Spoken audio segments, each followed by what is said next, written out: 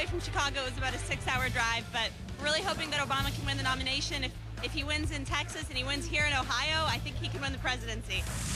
Larry King,